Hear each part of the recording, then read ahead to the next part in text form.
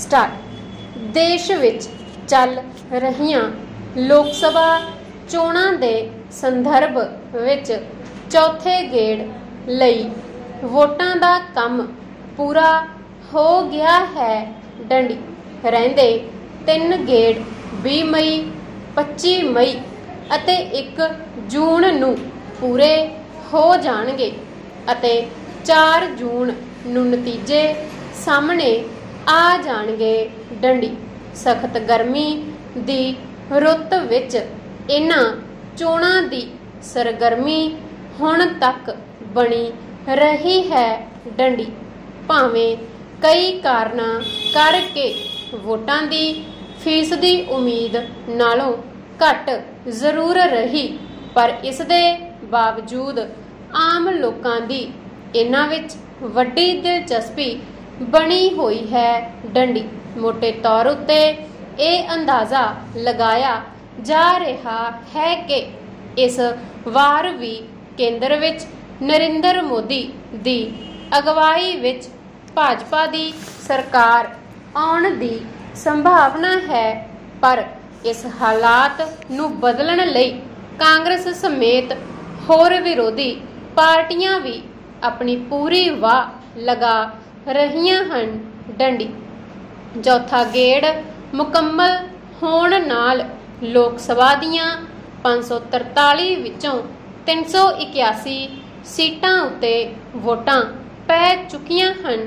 ਡੰਡੀ, ਵੱਖ-ਵੱਖ ਪੜਾਵਾਂ ਦੌਰਾਨ ਅੱਧੇ ਤੋਂ ਵੱਧ ਅੰਕੜਿਆਂ ਤੱਕ ਪਹੁੰਚਣ ਤੱਕ ਦੇਸ਼ ਦੇ ਲਗਭਗ ਸਾਰੇ ਹੀ ਸੂਬਿਆਂ ਦੀ ਵਾਰੀ ਆ ਚੁੱਕੀ ਹੈ। ਡੰਡੀ ਇਸ ਚੌਥੇ ਪੜਾਅ ਵਿੱਚ ਵੀ 10 ਰਾਜਾਂ ਅਤੇ ਕੇਂਦਰ ਸ਼ਾਸਿਤ ਇਲਾਕਿਆਂ ਵਿੱਚ ਇਹ ਚੋਣਾਂ ਹੋਈਆਂ ਹਨ। ਡੰਡੀ 96 ਸੀਟਾਂ ਦਾ ਘੇਰਾ ਵੀ ਪੂਰੇ ਦੇਸ਼ ਵਿੱਚ ਫੈਲਿਆ ਹੋਇਆ ਹੈ। ਪਰ ਮਹੱਤਵਪੂਰਨ ਰਾਜ ਆਂਧਰਾ ਪ੍ਰਦੇਸ਼ ਅਤੇ ਤੇਲੰਗਾਨਾ ਕਹੇ ਜਾ ਸਕਦੇ ਹਨ।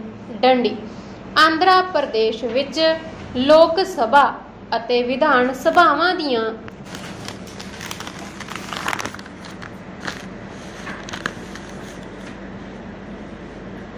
ਸਟਾਰਟ ਸਾਰੀਆਂ ਸੀਟਾਂ ਲਈ ਇਕੱਠੀਆਂ ਚੋਣਾਂ ਹੋਈਆਂ ਹਨ। ਡੰਡੀ। ਇਸ ਰਾਜ ਵਿੱਚ 25 ਲੋਕ ਸਭਾ, ਹਲਕੇ ਹਨ ਅਤੇ ਵਿਧਾਨ ਸਭਾ ਦੀਆਂ 175 ਸੀਟਾਂ ਹਨ। ਡੰਡੀ ਇਸ ਵਿੱਚ ਇਸ ਸਮੇਂ ਜਗਨ ਮੋਹਨ ਰੈਡੀ ਦੀ ਸਰਕਾਰ ਹੈ ਡੰਡੀ। ਉਸ ਦੀ ਪਾਰਟੀ ਵਾਈਐਸਆਰ ਕਾਂਗਰਸ ਪਾਰਟੀ ਨੂੰ ਪਿਛਲੀਆਂ 2019 ਦੀਆਂ ਚੋਣਾਂ ਵਿੱਚ ਵੱਡਾ ਹੁੰਗਾਰਾ ਮਿਲਿਆ ਸੀ ਡੰਡੀ। ਇਸ ਨੇ 25 ਵਿੱਚੋਂ 22 ਸੀਟਾਂ ਉੱਤੇ ਜਿੱਤ ਪ੍ਰਾਪਤ ਕੀਤੀ ਸੀ। ਇਸ ਕਰਕੇ ਵਿਧਾਨ ਸਭਾ ਚੋਣਾਂ ਵਿੱਚ 175 ਵਿੱਚੋਂ ਰੈਡੀ ਦੀ ਪਾਰਟੀ ਨੇ 151 ਸੀਟਾਂ ਹਾਸਲ ਕੀਤੀਆਂ ਸਨ। ਡੰਡੀ, ਆਂਧਰਾ ਦਾ ਸਾਬਕਾ ਮੁੱਖ ਮੰਤਰੀ ਚੰਦਰ ਬਾਬੂ ਨਾਇਡੂ, ਜੋ ਤੇਲਗੂ ਦੇਸ਼ਮ ਪਾਰਟੀ ਦਾ ਪ੍ਰਧਾਨ ਹੈ, ਦੀ ਕਦੇ ਇਸ ਰਾਜ ਵਿੱਚ ਤੂਤੀ ਬੋਲਦੀ ਸੀ। ਡੰਡੀ, ਉਹ ਲੰਮੇ ਸਮੇਂ ਤੱਕ ਬੜਾ ਹਰਮਨ ਪਿਆਰਾ ਮੁੱਖ ਮੰਤਰੀ ਵੀ ਬਣਿਆ ਰਿਹਾ ਸੀ। ਪਰ ਇਸ ਵਾਰ ਉਹ ਭਾਜਪਾ ਦੇ ਨਾਲ-ਨਾਲ ਪਵਨ ਕਲਿਆਣ ਦੀ ਜਨ ਸੈਨਾ ਪਾਰਟੀ ਨਾਲ ਰਲ ਕੇ ਜਗਨ ਮੋਹਨ ਰੈਡੀ ਨੂੰ ਚੁਣੌਤੀ ਦੇ ਰਿਹਾ ਹੈ। ਪਰ ਇੰਜ ਲੱਗਦਾ ਹੈ ਕਿ ਉਹ ਰੈਡੀ ਦੇ ਤਖਤ ਨੂੰ ਹਿਲਾਉਣ ਵਿੱਚ ਸ਼ਾਇਦ ਹੀ ਕਾਮਯਾਬ ਹੋਵੇ ਡੰਡੀ।